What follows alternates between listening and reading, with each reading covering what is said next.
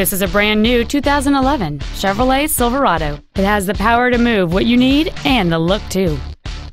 It features a 5.3 liter, 8 cylinder engine and a 4 speed automatic transmission. Its top features include air conditioning with automatic climate control, heated side view mirrors, a remote start feature, a DVD player, a leather wrapped steering wheel, variable valve timing, chrome wheels, a low tire pressure indicator, dual cargo area lights, and cruise control. Contact us today to arrange your test drive.